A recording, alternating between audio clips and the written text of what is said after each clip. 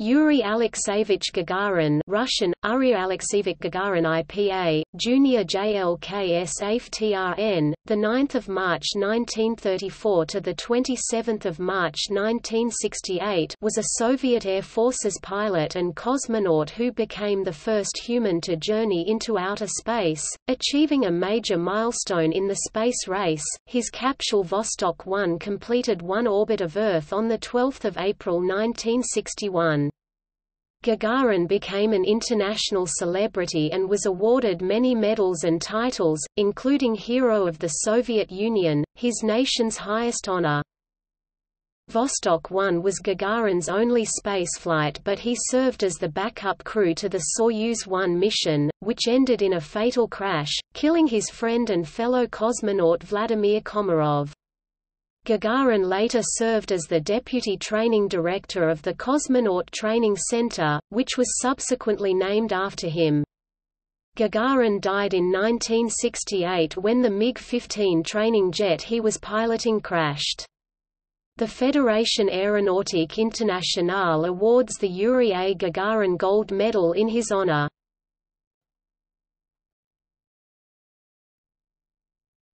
Topic: Early life and education Yuri Gagarin was born 9 March 1934 in the village of Klushino, near Gzhatsk renamed Gagarin in 1968 after his death. His parents worked on a collective farm, Alexei Ivanovich Gagarin as a carpenter and bricklayer, and Anna Timofeyevna Gagarina as a milkmaid.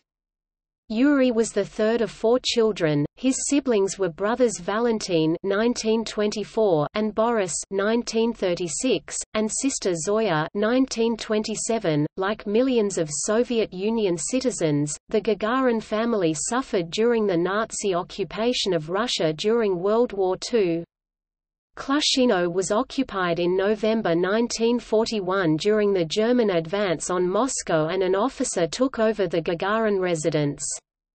The family were allowed to build a mud hut approximately 3 by 3 meters (10 by 10 feet) inside on the land behind their house, where they spent 21 months until the end of the occupation. His two older siblings were deported by the Germans to Poland for slave labor in 1943 and did not return until after the war in 1945. In 1946, the family moved to Gzhatsk, where Gagarin continued his secondary education. In 1950, aged 16, Gagarin began an apprenticeship as a foundryman at the Lyubertsy steel plant near Moscow, and enrolled at a local young workers school for seventh-grade evening classes. After graduating in 1951 from both the seventh grade and the vocational school with honors in mold-making and foundry work, he was selected for further training at the Saratov Industrial Technical School, where he studied tractors. While in Saratov, Gagarin volunteered at a local flying club for weekend training as a Soviet air cadet, where he learned to fly—at first in a biplane and later in a Yak-18 trainer. He earned extra money as a part-time dock laborer on the Volga River.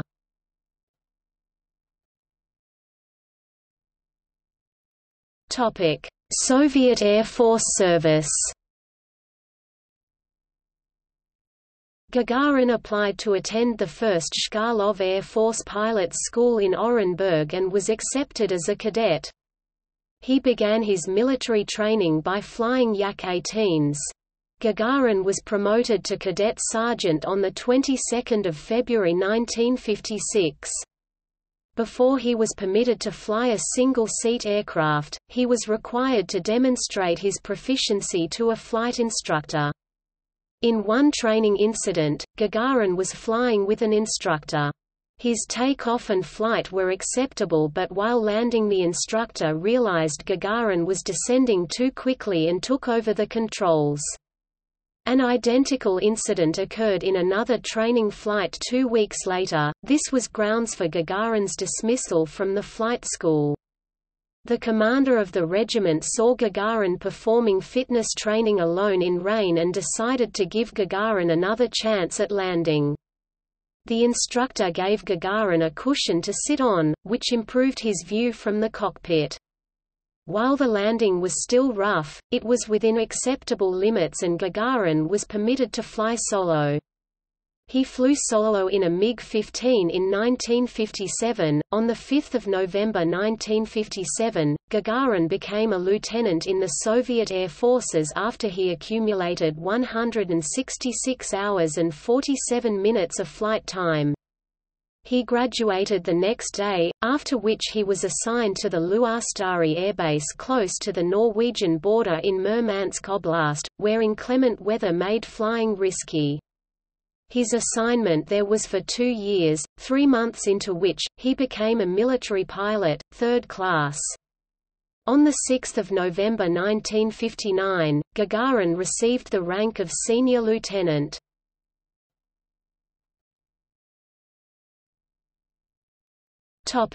Soviet space program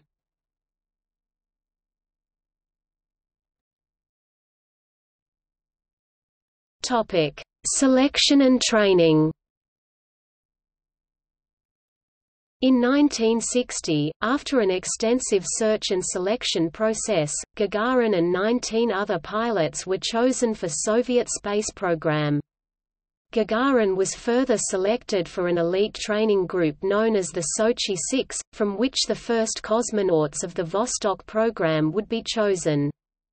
Gagarin and other prospective candidates were subjected to experiments that were designed to test physical and psychological endurance. He also underwent training for the upcoming flight. Gagarin experienced microgravity with the use of a drop tower, which allowed users to experience 2 to 3 seconds of weightlessness.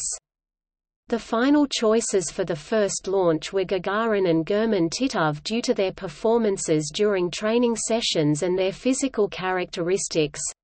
Space inside the small Vostok cockpit was limited and both men were short. Gagarin was 1.57 meters, 5 feet 2 in tall in August 1960, when Gagarin was one of 20 possible candidates. A Soviet Air Force doctor evaluated his personality as follows: Modest, embarrasses when his humor gets a little too racy, high degree of intellectual development evident in Yuri, fantastic memory, distinguishes himself from his colleagues by his sharp and far-ranging sense of attention to his surroundings, a well-developed imagination, quick reactions, persevering, prepares himself painstakingly for his activities and training exercises, handles celestial mechanics and mathematical formulae with ease as well as excels in higher mathematics, does not feel constrained when he has to defend his point of view if he considers himself right, appears that he understands life better than a lot of his friends. Gagarin was a candidate favored by his peers. When the 20 candidates were asked to vote anonymously for a candidate besides themselves they would like to be the first to fly, all but three chose Gagarin. One of these candidates, Yevgeny Khrunov, believed that Gagarin was very focused and was demanding of himself and others when necessary. Gagarin kept physically fit throughout his life and was a keen sportsman. Cosmonaut Valery Bykovsky wrote, Service in the Air Force made us strong, both physically and morally. All of us cosmonauts took up sports and PT seriously when we served in the Air Force. I know that Yuri Gagarin was fond of ice hockey. He liked to play goalkeeper. I don't think I am wrong when I say that sports became a fixture in the life of the cosmonauts. In addition to being a keen ice hockey player, Gagarin was a basketball fan and coached the Saratov Industrial Technical School team, as well as being a referee. Several of the candidates selected for the program did not have a post-secondary degree and were enrolled into a correspondence course program at Zhukovsky Higher Education Academy. Gagarin enrolled in the program in September 1960 and did not earn his diploma until early 1968.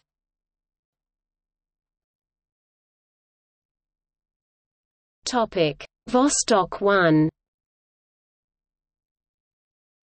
On 12 April 1961, 6.07 am Coordinated Universal Time, the Vostok 3 Ka-3 Vostok 1 spacecraft with Gagarin aboard was launched from Baikonur Cosmodrome.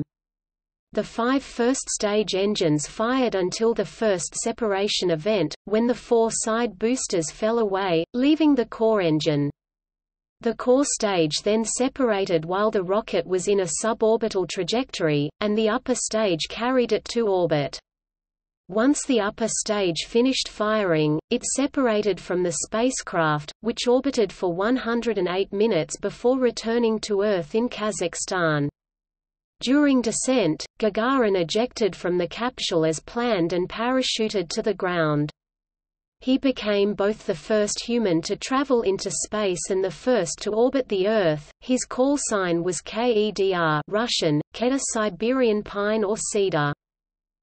The radio communication between the launch control room and Gagarin included the following dialogue at the moment of rocket launch Korolev. Preliminary stage Intermediate Main Lift off. We wish you a good flight. Everything is all right. Gagarin. Poali. Poyekhali. Let's go. Gagarin's informal Poyekhali became a historical phrase in the Eastern Bloc that was used to refer to the beginning of the space age. In his post-flight report, Gagarin wrote, the feeling of weightlessness was somewhat unfamiliar compared with Earth conditions. Here, you feel as if you were hanging in a horizontal position in straps. You feel as if you are suspended. Following the flight, Gagarin told the Soviet leader Nikita Khrushchev that during re-entry he had whistled the tune, "'The Motherland Hears, the Motherland Knows' Russian, Rodina slicet Rodina zanare. The first two lines of the song are, The motherland hears, the motherland knows, where her son flies in the sky. There were concerns Gagarin's spaceflight record would not be certified because he ejected from the capsule. Prior records required the pilot to land with the craft. The spaceflight records were later certified. Some sources said Gagarin commented during the flight, "'I don't see any God up here' but no such words appear in the verbatim record of his conversations with Earth stations during the spaceflight.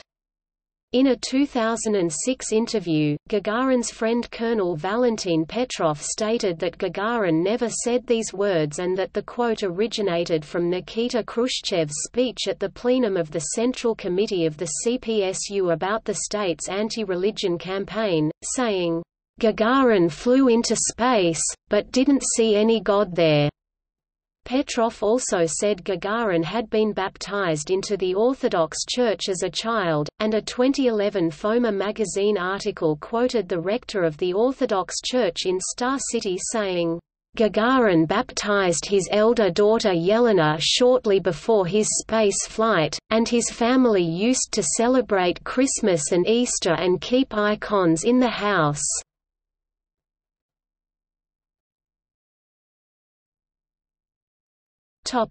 After the Vostok 1 flight Gagarin's flight was a triumph for the Soviet space program and became a national hero of the Soviet Union and Eastern Bloc, and a worldwide celebrity. Newspapers around the globe published his biography and details of his flight. Moscow and other cities in the Soviet Union held mass demonstrations, the scale of which were second only to World War II victory parades. Gagarin was escorted in a long motorcade of high-ranking officials through the streets of Moscow to the Kremlin where, in a lavish ceremony, Nikita Khrushchev awarded him the title Hero of the Soviet Union. Gagarin toured widely abroad, he visited Italy, Germany, Canada, Brazil, Japan, Egypt, and Finland to promote the Soviet Union's accomplishment of putting the first human in space. He visited the United Kingdom three months after the Vostok 1 mission, going to London and Manchester. The sudden rise to fame took its toll on Gagarin. While acquaintances say Gagarin had been a sensible drinker, his touring schedule placed him in social situations in which he was expected to drink alcohol, and reportedly, at a Black Sea resort in September 1961, he was caught by his wife with a nurse named Anna who had aided him after a boating incident. He attempted to escape through a window and jumping off her second-floor balcony, hitting his face on a curbstone and leaving a permanent scar above his left eyebrow. In 1962, Gagarin began serving as a deputy to the Soviet of the Union, and was elected to the Central Committee of the Young Communist League. He later returned to Star City, the cosmonaut facility, where he spent several years working on designs for a reusable spacecraft. He became a lieutenant colonel of the Soviet Air Forces on 12 June 1962, and received the rank of colonel on 6 November 1963.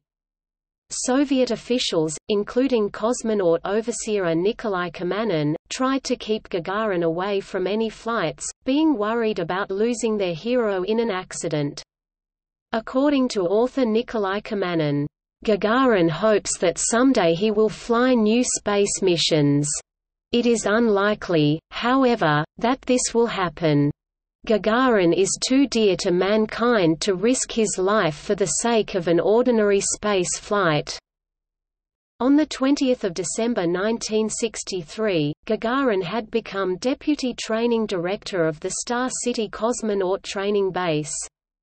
Two years later, he was re-elected as a deputy to the SSSU, but this time to the Soviet of Nationalities. The following year, he began to re-qualify as a fighter pilot. He was backup pilot for his friend Vladimir Komarov on the Soyuz 1 flight after five years without piloting duty. Kamanin had opposed Gagarin's reassignment to cosmonaut training, in that time he gained weight and his flying skills deteriorated. Despite this, he remained a strong contender for Soyuz 1 until he was replaced by Komarov in April 1996 and reassigned to Soyuz 3. The Soyuz 1 launch was rushed due to implicit political pressures and despite Gagarin's protests that additional safety precautions were necessary. Gagarin accompanied Komarov to the rocket before launch and relayed instructions to Komarov from ground control following multiple system failures aboard the spacecraft. Despite their best efforts, Soyuz 1 crash-landed after its parachutes failed to open, killing Komarov instantly. After the Soyuz 1 crash, Gagarin was permanently banned from training for and participating in further spaceflights. He was also grounded from flying aircraft solo, a demotion he worked hard to lift. He was temporarily relieved of duties to focus on academics with the promise that he would be able to resume flight training. On 17 February 1968, Gagarin successfully defended his aerospace engineering thesis on the subject of spaceplane aerodynamic configuration, passing with flying colors.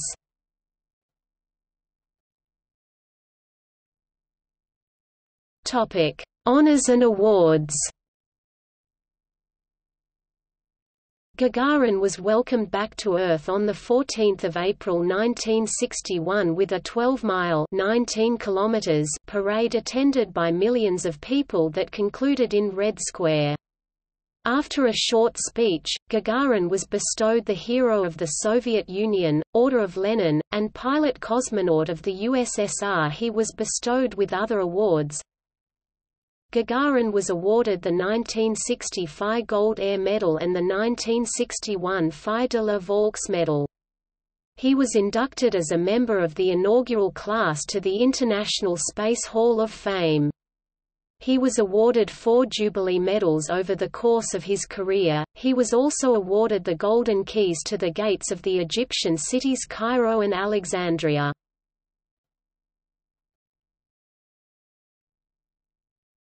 Topic: Personal life. In 1957, while at the first Chkalov Air Force Pilots School in Orenburg, Gagarin met Valentina Ivanovna Goryacheva, a medical technician graduate of Orenburg Medical School. They were married on 7 November 1957, the same day Gagarin graduated from Orenburg, and they had two daughters. Yelena Yurievna Gagarina, born 1959, is an art historian who has worked as the Director General of the Moscow Kremlin Museums since 2001, and Galina Yurievna Gagarina, born 1961, is a professor of economics and the department chair at Plekhanov Russian University of Economics in Moscow. Topic death On 27 March 1968, while on a routine training flight from Chkalovsky Air Base, Gagarin and flight instructor Vladimir Seryogin died when their MiG-15 UTI crashed near the town of Kirzhach. The bodies of Gagarin and Seryogin were cremated and their ashes were buried in the walls of the Kremlin. The cause of the crash that killed Gagarin is uncertain and has been a subject of conspiracy theories. Soviet documents declassified in March 2003 showed the KGB had conducted their own investigation of the accident, in addition to one government and two military investigations. The KGB's report dismissed various conspiracy theories and instead indicated the actions of airbase personnel contributed to the crash.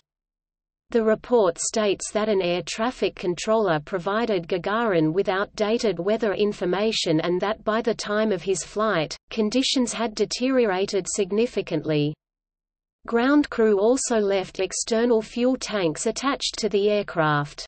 Gagarin's planned flight activities needed clear weather and no outboard tanks. The investigation concluded Gagarin's aircraft entered a spin, either due to a bird strike or because of a sudden move to avoid another aircraft. Because of the out-of-date weather report, the crew believed their altitude was higher than it was and could not react properly to bring the MiG-15 out of its spin.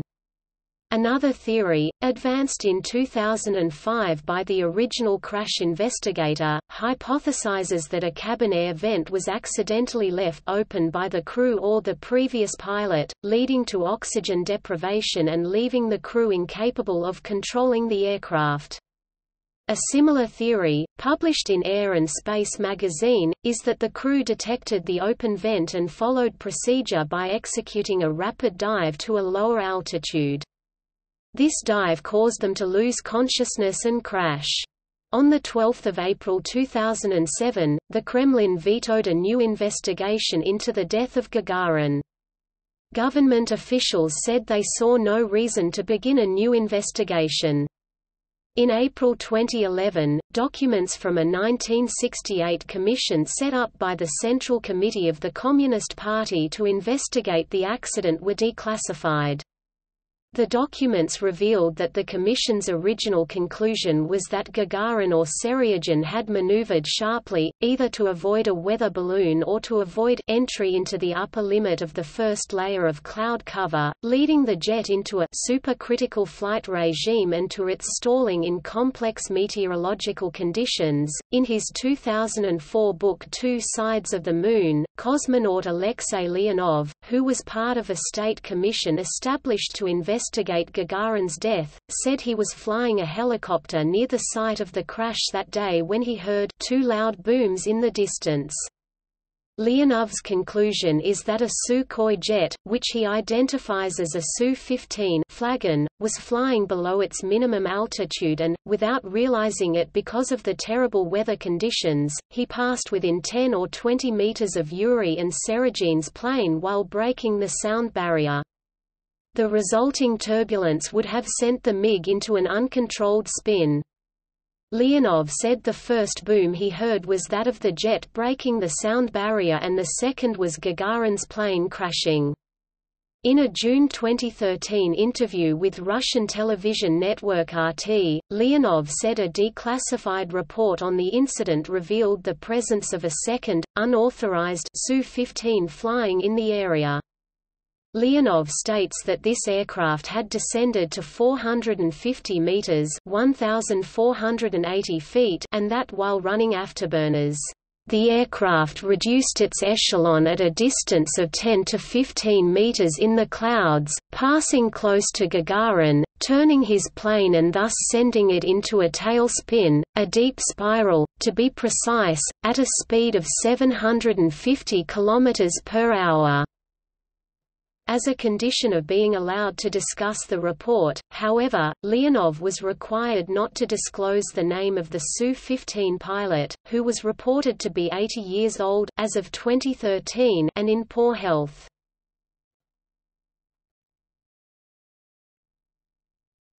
Topic: Legacy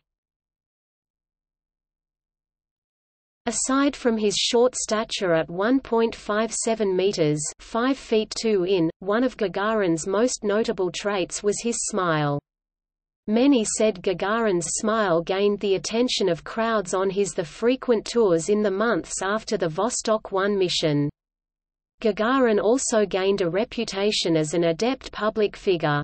Despite heavy rain when he visited Manchester, England, Gagarin insisted the roof of the convertible car in which he was riding remained open so the cheering crowds could see him.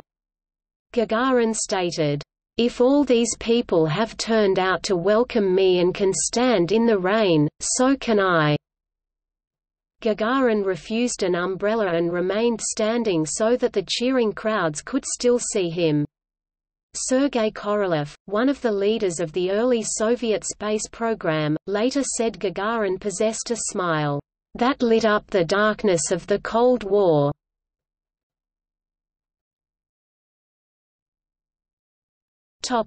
Tributes. The date of Gagarin's space flight, the 12th of April, has been commemorated. Since 1962, it has been celebrated in the USSR and most of its former territories as Cosmonautics Day. Since 2000, Yuri's Night, an international celebration, is held annually to commemorate milestones in space exploration. In 2011, it was declared the International Day of Human Spaceflight by the United Nations. A number of buildings and locations have been named for Gagarin. The Cosmonaut Training Center in Star City, Russia, was named in 1969. The launch pad at Baikonur Cosmodrome from which Sputnik 1 and Vostok 1 were launched is now known as Gagarin Start. Gagarin Rayon in Sevastopol, Ukraine, was named after him during the period of the Soviet Union. The Air Force Academy was renamed Gagarin Air Force Academy in 1968. A street in Warsaw, Poland, is called Yuri Gagarin Street. Gagarin has been honored on the Moon by astronauts and astronomers. During the American space program's Apollo 11 mission in 1969, astronauts Neil Armstrong and Buzz Aldrin left a memorial satchel containing medals commemorating Gagarin and fellow cosmonaut Vladimir Komarov on the Moon's surface. In 1971, Apollo 15 astronauts David Scott and James Irwin left the small fallen astronaut sculpture at their landing site as a memorial to the American astronauts and Soviet cosmonauts who died in the space race. The names on its plaque included Yuri Gagarin and 14 others. In 1970, a 262 kilometers (163 miles) wide crater on the far side after him, Gagarin is memorialized in music, a cycle of Soviet patriotic songs titled the Constellation Gagarin (Russian: Sozvezd tr. Sozvezdy Gagarina was written by Alexandra Pakhmutova and Nikolai Dobronravov in 1970–1971. The most famous of these songs refers to Gagarin's Poyekhali. In the lyrics, he said, Let's go, he waved his hand. He was the inspiration for the pieces, Hey Gagarin, by Jean-Michel Jarre on Metamorphoses, Gagarin, by Public Service Broadcasting, and Gagarin, I Loved You, by Underwood. Vessels have been named for Gagarin. Soviet tracking ship Kosmonavt Yuri Gagarin was built in 1971 and the Armenian airline Armavia named their first Sukhoi Superjet 100 in his honor in 2011. Two commemorative coins were issued in the Soviet Union to honor the 20th and 30th anniversaries of his flight, a 1 ruble coin 1981, copper-nickel and a 3 ruble coin 1991, silver. In 2001, to commemorate the 40th anniversary of Gagarin's flight, a series of four coins bearing his likeness was issued in Russia. It consisted of a 2 ruble coin in copper nickel, a 3 ruble coin in silver, a 10 ruble coin in brass copper and nickel, and a 100 ruble coin in silver. In 2011, Russia issued a 1,000 ruble coin in gold and a 3 ruble coin in silver to mark the 50th anniversary of his flight. In 2008, the Kontinental Hockey League named their championship trophy the Gagarin Cup. In a 2010 Space Foundation survey, Gagarin was ranked as the sixth most popular space hero, tied with Star Trek's fictional James T. Kirk. A Russian docudrama titled Gagarin, First in Space was released in 2013. Previous attempts at portraying Gagarin were disallowed, his family took legal action over his portrayal in a fictional drama and vetoed a musical.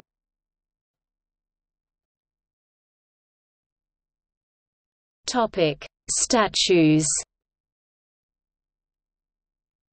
There are statues of Gagarin and monuments to him located in Karaganda, Orenburg, Izhevsk, Gagarin, Smolensk Oblast, Yoshkar Ola, Cheboksary, Druzhkivka, Tiraspol, Irkutsk, Komsomolsk on Amur and Nicosia.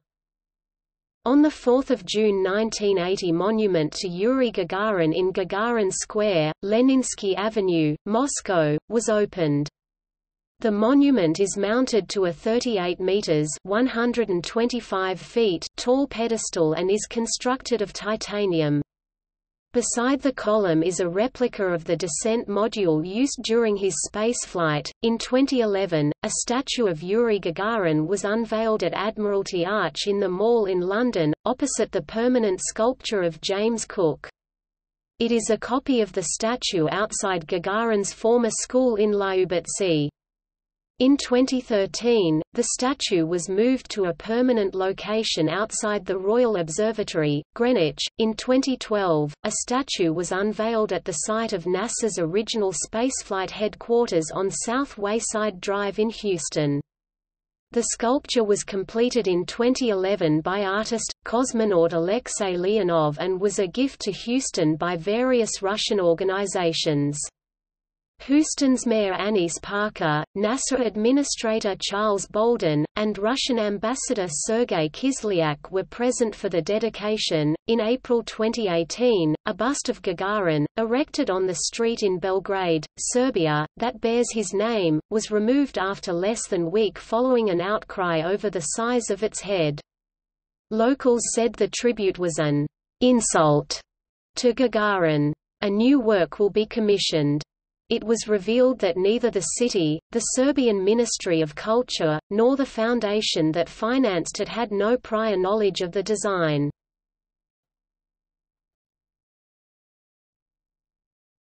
Topic: 50th anniversary. The 50th anniversary of Gagarin's journey into space was marked in 2011 by tributes around the world.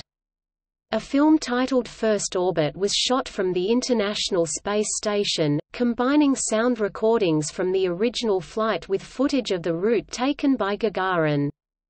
The Russian, American, and Italian crew of Expedition 27 aboard the ISS sent a special video message to wish the people of the world a «Happy Yuri's Night» Wearing shirts with an image of Gagarin, Swiss-based German watchmaker Bernhard Lederer created a limited edition of 50 Gagarin tourbillons to commemorate the anniversary.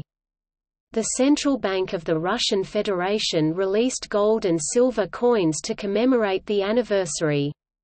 The launch of Soyuz TMA-21 on 4 April 2011 was dedicated to the 50th anniversary of the first manned space mission.